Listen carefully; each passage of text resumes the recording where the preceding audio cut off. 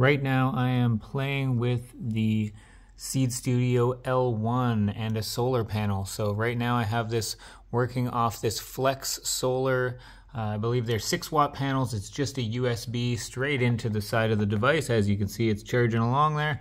I think when I first started this, we were at about 60%. You can see we're up to about 90% now.